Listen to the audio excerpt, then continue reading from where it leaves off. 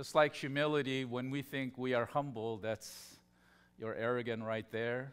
If you say you have wisdom, very possibly you do not have wisdom because, as we talked about false wisdom last time, we would like to focus on what is true wisdom.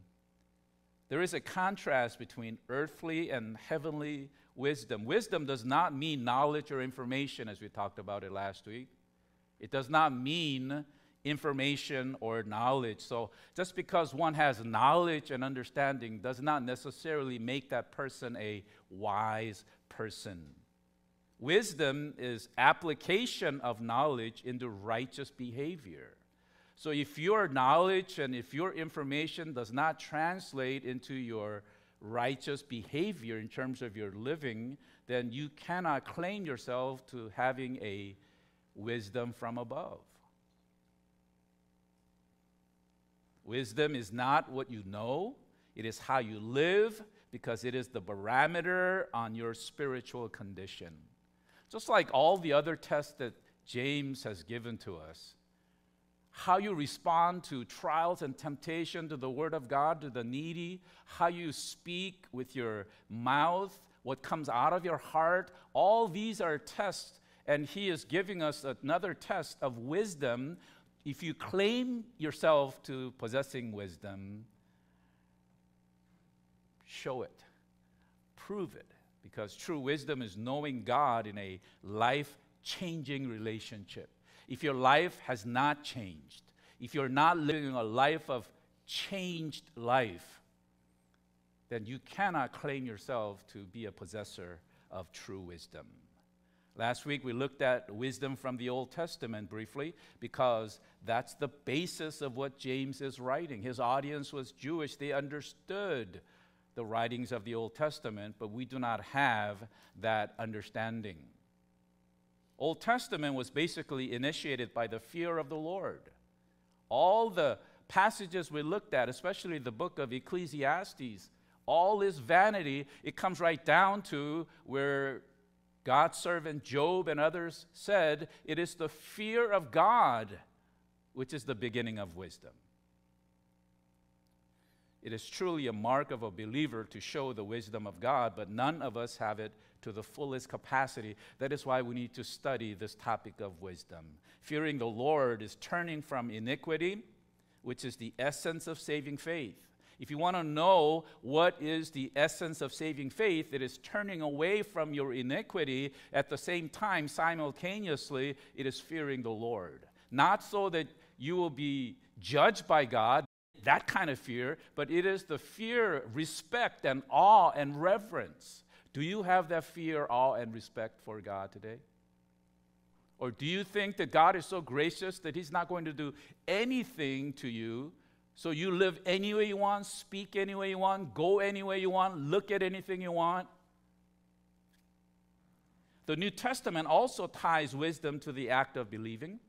If you turn to the book of Matthew, chapter 7, let us read from uh, verse 24 there. You look on the screen as I read out loud. Everyone then who hears these words of mine and does them will be like a wise man who built his house on the rock. And the rain fell, and the floods came, and the winds blew and beat it on that house, but it did not fall, because it had been founded on the rock. And everyone who hears these words of mine and does not do them will be like a foolish man who built his house on the sand. And the rain fell, and the floods came, and the winds blew and beat against that house, and it fell, and great was the fall of it. Amen. Here you have a very religious person who has no foundation. The Bible calls him a fool. You can be very religious today, but your foundation is on a shaky ground. You are a foolish person, but the one who does the Word of God is a wise person. Wisdom is equated with saving faith. Those who are saved must and will possess wisdom. So, conversely, if you are not a child of God, you do not have wisdom. If you do not have wisdom, you are not a child of God. Again, not everybody has this totality of God's true wisdom. We have a long way to go, but you are on your way. You are a wise person pursuing the things of God. You are a fearer of God. You are on your way. That proves that you are a child of God. But if you're going the other way, you have no fear of God. There is no fear of God in your eyes at all. Truly, we can say that you are not a child of God. Who among us can judge? But the Bible clearly says that you are able to tell by what one produces. If what comes out of your mouth, if what comes out of your life is nothing but evil and malice, slander, and you go around saying, I am full of wisdom, I am a child of God, sorry, no, you're not. Only God knows who's truly saved, yes. We cannot throw the first stone, yes. But we can tell by the fruits that we're producing. In Matthew 25, starting with verse 1, we read this Then the kingdom of heaven will be like ten virgins who took their lamps. These lamps represent Christian profession or symbols and went to meet the bridegroom. Five of them were foolish, and five were wise. For when the foolish took their lamps, they took no oil with them, but the wise took flasks of oil with their lamps. As the bridegroom was delayed, they all became drowsy and slept. But at midnight there was a cry, Here's the bridegroom, come out to meet him. Then all those virgins rose and trimmed their lamps, and the foolish said to the wise, Give us some of your oil, and our lamps are going out. But the wise answer, saying, Since there will not be enough for us and for you, go after to the dealers and buy for yourselves. And while they were going to buy, the bridegroom came, and those who were ready went in with him to the marriage feast, and the door was shut. Afterward, the other virgins came also, saying, Lord, Lord, open to us. But he answered, Truly I say to you, I do not know you. Watch therefore for you know neither the day nor the hour. Brothers and sisters, the foolish virgins had all the symbols on the outside, but nothing on the inside. You can look religious today. You can carry a 50 pound King James Version Bible. You can quote Bible passages. You can dress like a Christian, sing like a Christian, talk like a Christian, smell like a Christian if that were possible. Thank you for that giggles. We don't ever get that here at Crosspoint. It's a miracle. I was told to stay with my strong points. It has been suggested to me, stay away, stay away from the jokes. That's not your strong point. My Korean counterpart pastors, who I see eight to 10 hours a day, every day except Monday, and even on Monday sometimes, they have all these jokes that they tell each other, and I'm just sitting there bombarded with all kinds of Korean jokes. And I, so I try a few times, and they fail each time. But so I went back and I reported to them, hey, I thought that joke would work. You told me to use it, and I used it. It failed. It bombed. So then they told me another one. Make sure you try this one. I'm not going to try it here. you can look religious on the outside, but on the inside, do you possess what's necessary to be a saved person? Oil cannot be transferred because salvation cannot be transported from one to another. Just because your parents are saved does not mean that you will be saved. In terms of wealth, perhaps if your parents are rich, they will give to you as an inheritance their wealth. But when it comes to faith, it does not transfer down. No matter whether your best friend is a Christian, whether your favorite person in the world is a Christian and you look up to that person, does not mean that you would be a Christian. It cannot be transferred. In 1 Corinthians chapter 1, verses 22 and 24, we read, For Jews demand signs and Greeks seek wisdom. But we preach Christ crucified, a stumbling block to Jews and folly to Gentiles. But to those who are called, both Jews and Greeks, Christ, the power of God and the wisdom of God. And in verse 30 of that same chapter, and because of him, you are in Christ Jesus, who became to us wisdom from God. Christ became to us wisdom from God. We who possess Christ, in other words, we are people of wisdom. The world might say we're foolish, but in the end, we know that God will make sure that every eye will see, every knee will bow and confess before Christ as Lord, that the rest of the world who will not bow and confess Jesus to be Lord are the ones who are foolish. And it is speaking of Christ. Colossians chapter 2 verse 3 simply says, "In whom are hidden all the treasures of wisdom and knowledge. In whom, that is Christ, are hidden all the treasures of wisdom and knowledge." So if you know Christ, you have unsearchable wisdom at your disposal. You have wisdom. That is precisely what James is proposing here. He compares verses 14 to 16, which is false wisdom, with verses 17 and 18, true wisdom, which we will now look at.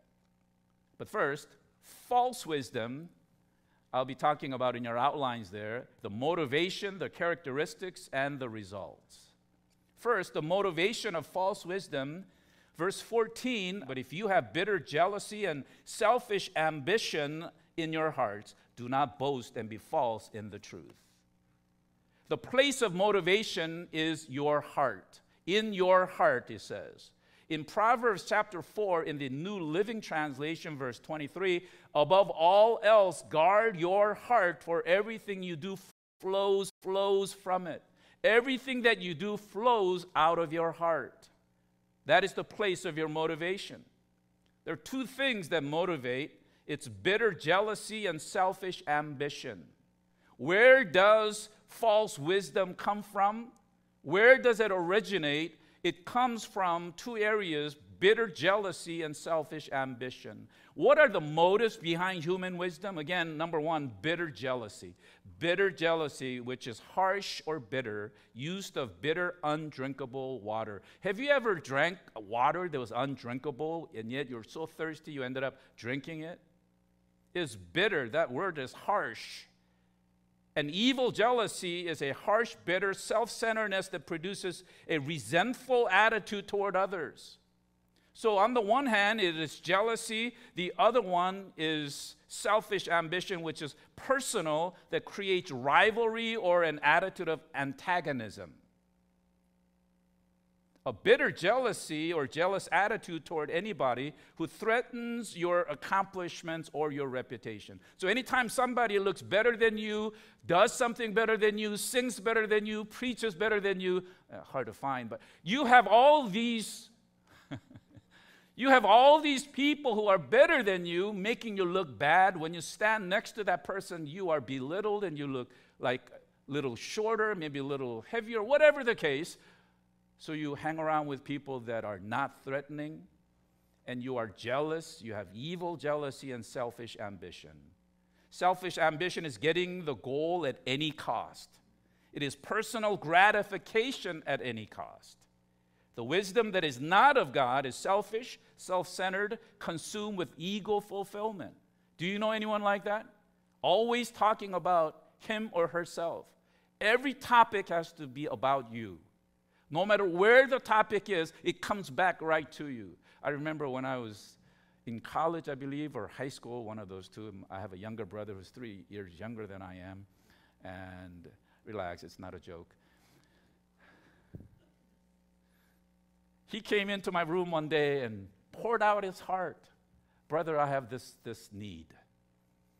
So I listened to him for a while and then I started giving him advice, as men like to do. We like to solve problems. Women, on the other hand, I'm told just want to be heard. But here I was telling, giving solutions, and at the end of my great advice, I thought, he says, How come every time I come talk to you, I end up listening to you? We're like that. Selfish ambition. The wisdom that is not of God is selfish, self centered, consumed with ego fulfillment. It is proud, it is being selfish, it is self centered, working for our personal gain. And this motivation comes from the false wisdom, it comes from our selfishness. In verse 14 of James 3, do not boast and be false to the truth. In other words, stop arrogantly boasting. Stop boasting that you have wisdom when in fact you do not. Stop giving your opinion as though that's the absolute gospel truth when in fact it is totally erroneous.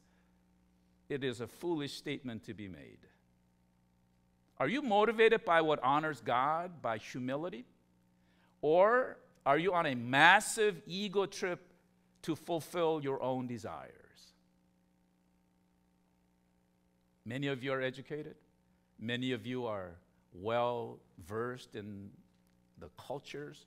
You are well informed in all areas of life. But are you motivated by what honors God, by humility, or are you doing so to fulfill your selfish desires? There is no single characteristic of unredeemed, that is unsaved, more obvious than being totally dominated by pride and self. There's no characteristic more obvious than that. So, if you want to tell the difference between a child of God and a non child of God, one characteristic that sets apart between the two is this selfish pride and ego. Have you ever seen a Christian that was well knowledged in the things of God and yet see someone who's very down to earth and humble? There is a person who truly possesses true wisdom. That's the motivation. Secondly, the characteristic of false wisdom. In verse 15, this is not the wisdom that comes down from above, but is earthly, unspiritual, and demonic. It does not come down from above. It is not from God.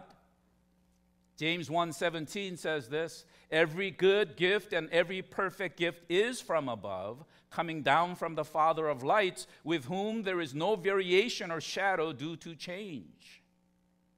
True wisdom comes from above, false wisdom comes from the world. So James gives us three words to describe the wisdom that is false. There are three enemies to a believer. Mark this in your hearts. Three enemies to a believer. First is earthly, that is the world. It is limited to time and space. It cannot crawl out of its prison. It is doing your own thing. You are so trapped in your own mind, in your own world, in this evilness, you cannot get out. You cannot crawl out. It is limited to corruption of their own system. It pervades philosophy, education, every dimension of life. You're trapped because of your thinking, your evil earthliness. Second enemy is unspiritual. It is animal, natural, sensuous, whatever in the natural world that is unspiritual. We are told in 1 Corinthians 2 in the New Living Translation, verse 14, but people who aren't spiritual can't receive these truths from God's Spirit. It all sounds foolish to them and they can't understand it, for only those who are spiritual can understand what the Spirit means. Only those who are born of the Spirit can understand the things of the Spirit. So if you are trying to evangelize to someone, if you're trying to make clear or sense to someone about the gospel, and if they are not born of the Spirit, that is, the Holy Spirit has not taken up residence in that person yet, then that person will never understand what you're talking about. So do not wonder do not worry. How come, God, that this person I've been trying to witness is not really breaking through? Why? That's because that person is not capable of understanding the things of God.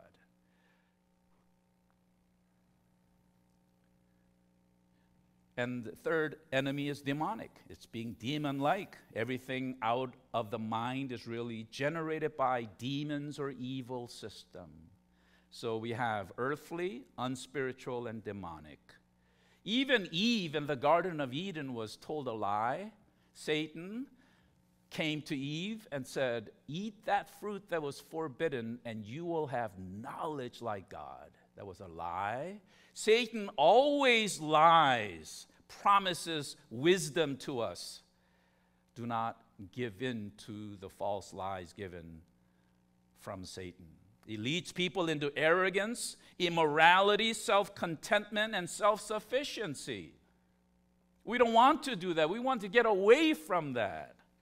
The only thing that restrains the world from an absolutely animalistic existence is the restrainer, the Holy Spirit. The Holy Spirit is the restrainer. Without the Holy Spirit controlling and containing and restraining what's going on, this world will be in much worse situation. But do you realize that the world is getting worse? Do you even worry that it's getting worse and worse? Every time you look, it's getting worse. The only thing that restrains the world from an absolutely animalistic existence is the restrainer, the Holy Spirit. When you look at the world, do you see getting worse and worse? Or do you see it getting better and do you hope that it's getting better and better? Are you hoping for a utopia? Are you waiting for this world to be perfect for you? It cannot go any other way due to all who are locked up with human wisdom. They do not have any answers. Education does not have answers, philosophy does not have answers. Only the wisdom that can come from God and from above are we able to then solve anything, but the world is getting worse. Do not be alarmed. The world has to get worse before the Prince of Peace will come and rectify, put an end to, and recreate, getting rid of the old and recreating the entire universe.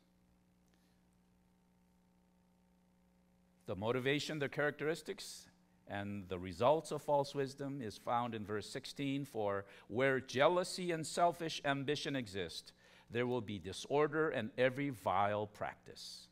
The word disorder is coming out of chaos or confusion or instability. So, for where jealousy and selfish ambition exist, there will be chaos, confusion, and instability in every vile practice. And it's the same word used in the first chapter in the New International Version, verse 8. Such a person is double minded and unstable in all they do. We covered that earlier in chapter 1 that a person has a double minded, double mind, and unstable. He's unstable in all he does. So, earthly wisdom will always destroy fellowship, intimacy, love. It'll bring chaos and discord. So, whenever you see a fellowship breaking down, Whenever you see a brother or sister in discord, whenever you see some disharmony happening in the church, that's the work of Satan. And those who are claiming to have wisdom, true wisdom from above, in actuality are working for Satan. They do not possess true wisdom from God, they possess the false wisdom coming from Satan, the world. Are you seeing it happen all around our world? Discord, anger, bitterness, inability to get along with people, world going to get worse. So James asks in verse 13, Who is wise? Who is wise? Every Sunday or every week, we have to put our sermon title to the chat room where pastors can know which title and verse we are going to be giving. And my title that I gave was Who is Wise? Who is wise. And one of the pastors' name is Wise. He looked at that and he jumped up and he came to me. That's me. What do you mean, who is wise? I am wise. I am wise. And I told him, hey, why don't you come here and let me use you as a, an object, you know, like, and then he goes, no, I can't do that. Why not? You're wise. Let me use you. I've been talking over there for two weeks and I'm trying to convince him, but he says, no, I got to go and do some stuff up there. I go, okay, I'll just try doing it without you. James asks, Who is wise? Let's find out. True wisdom. In your outline, the second major point there, true wisdom. Again, we'll be talking about motivation, characteristics, and results of true wisdom. First, The motivation is found in verse 17, but the wisdom from above is first pure, then peaceable, gentle, open to reason, full of mercy and good fruits, impartial and sincere. What is the motivation? It is being pure. The word pure means moral sincerity, spiritual character, spiritual integrity, free from selfish ambition and self promotion. So, what is the motivation of having true wisdom is being pure. First, motivation is the wisdom of God. The first wisdom, the wisdom of God is pure. That's your motive. You show me a believer, and I will show you whose heart has pure desires to do God's will, to serve, and to love. If one does not have the desire to do God's will and to serve Him and to love Him, he does not possess wisdom, therefore is not a believer. There is a condition of a true believer, as indicated in Matthew 5, verse 8 Blessed are the pure in heart, for they shall see God. Pure means, eh, pure, the word pure started out meaning a ceremonial cleansing where you washed your body. When you washed your body, you were clean or pure. Eventually, though, it came to refer to a moral purity which allowed you to approach your God with a small g. You were able to approach your God or gods. And that word was used. In Hebrews chapter 12, verse 14, makes it clear holiness without which no one will see the Lord. Holiness is absolutely important. What is our motivation for possessing wisdom of God? Is purity. The prophet Ezekiel says, Salvation is when God takes away your stony heart and gives you a new heart. Every believer is given a new heart. He removes the stony heart and replaces it with a new heart, brand new heart. But the question is if we possess this new heart, our stony heart was removed, how come we still sin? We are consumed with purity, but we sin because our new heart is captured in our old flesh. If you want to find out more about the flesh and how we are going to be glorified, come out on Wednesday. We're studying Wednesday, Romans chapter 8, covering some great, great truths. Characteristics of true wisdom. It says right there, first of all, is peaceable, means peace loving, peace promoting. Matthew 5 9 says, Blessed are the peacemakers, for they shall be called sons of God. Secondly, gentle. And this word is the most difficult to translate by scholars. And so they came up with a composite of different words to describe this. And let me give them for you. It is sweet reasonableness. Gentleness is sweet reasonableness. It is also humble and being patient, humbly patient. One is humble and patient. It is also an attitude of consideration. You consider others. It is humility. Gentleness also is kindness without hatred, without malice, without revenge. Matthew 5 11 says, Blessed are you when others revile you and persecute you and utter all kinds of evil against you falsely on my account. You're blessed when that happens. Have you ever been told lies about you? Some things were said about you that were not true. It says, Be blessed. You are blessed when others do that and persecute you. If you're receiving persecution as a result of your dumbness or stupidity, something that you've done that was wrong, that is not what this is talking about. It's talking about you being persecuted for the cause of Christ, and yet you were given all this treatment, you're blessed. Third is open to reason. Characteristics, third one, open to reason. You are willing to yield, you're not stubborn, you're easily persuaded. Do you know some people who are so naive, they believe anything? Biblically, you're blessed. You're open to reason, easily persuaded, teachable. You're not ready to just shout out your opinion, but when you are told something, you are humble, you're teachable, you're compliant. Especially when it comes to the Word of God. You don't say, yeah, but, yeah, but. You say, amen, amen. It is used of a person who submits to military discipline willingly. It is that idea. Matthew 5 3 says, Blessed are the poor in spirit, for theirs is the kingdom of heaven. Verse 4, Blessed are those who mourn, for they shall be comforted. Verse 5, Blessed are the meek, for they shall inherit the earth. That's the spirit. Next one is full of mercy. It is having a concern for people who suffer, not just forgiving who have wronged you, but reaching out to people with compassion who are in suffering. Some of you are very good at that because perhaps you suffered. You went through so much suffering yourself that you are so sensitive to the needs of others. But it's that idea full of mercy is showing compassion to people who are suffering. For in Matthew 5 7 says, Blessed are the merciful, for they shall receive mercy. That's the evidence of saving faith, to be concerned for others, having compassion for others. It is to having a desire to give to those who are in need. Next one is good fruits, good works. It is wide variety of spiritual deeds. In one of the questions, what are some specific deeds that you are doing in your life in your small groups today? Discuss that.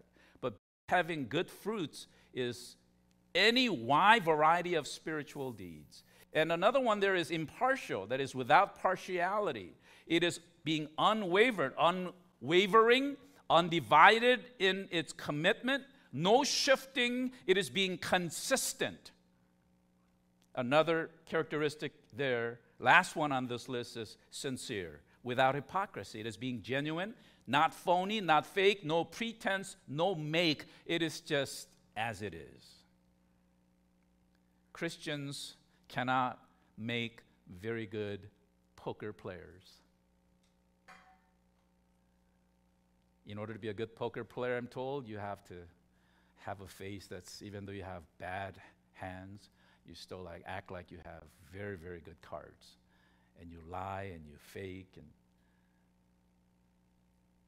not very good poker players. You got to be genuine, no phony, no fake, no pretense.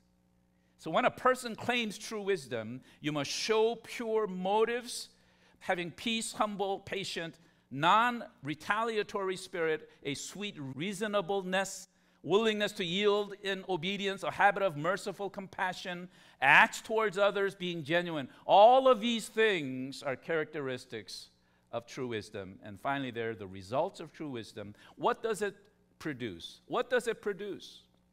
Verse 18 And the harvest of righteousness is sown in peace by those who make peace. Wisdom is equated with righteousness, it is the law of sowing and reaping. Whatever you sow, you reap. Wisdom is equated with righteousness. True wisdom will always have righteousness. So if you do not have righteousness, all you have is evilness, wickedness in you, you cannot possibly claim that you are a possessor of wisdom from above. So ask yourself do I have the wisdom of God? What are the specific deeds that I do? What is my attitude? You are not a child of God, but you look like a child of God. You look like you have the wisdom from above because you've been hanging around with Christians. All of your friends are Christians. You send your children to Christian preschools. You come to worship, you praise, and yet you really have not fully accepted Christ as Lord and Savior. Or you are in the godly wisdom area, but you have been hanging around the world so long you look like you do not possess any heavenly wisdom. Either way, you are in that gray area.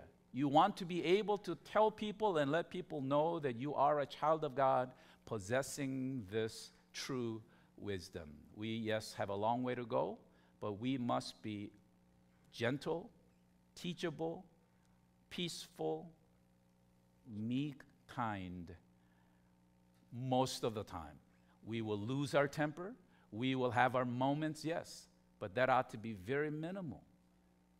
On the other hand, if you are wicked and vile and unrighteous most of the time, and yet sometimes you're kind, meek, and mild, you are not a child of God. That's what James is saying. Who is wise? Who is wise among us? Who is? Are those who are in Christ, whose Holy Spirit is the resident in your heart. Are you a possessor of the Holy Spirit? Only a child of God possesses the Holy Spirit. Holy Spirit is not some kind of an eerie spiritual figure that's floating about in the air. Holy Spirit is equal to the second person of the Trinity, same with the first person of the Godhead, God the Father, God the Son, and God the Holy Spirit. When you receive Christ as your Lord and Savior, the Holy Spirit, being equal with Christ, equal with the Father, enters your heart. He enters every born again child of God. If you do not possess the Holy Spirit this morning, simply say, Lord Jesus, I do not fully understand you, but I am told that without you there is no salvation. I have been living my life in worldly, secular ways. I've been selfish. I've been self centered. But now I want to give up all of this and I want to focus my life center around you. Receive me as your child. Give me salvation. Help me to go to heaven when I die. Let the Holy Spirit rule my heart. Let Him take up residence. Tell me what to do, how to do things, where to go, what to say. Give me the wisdom that can only come from above. And receive Jesus Christ into your hearts. And you too will be the possessor of heavenly wisdom, true wisdom.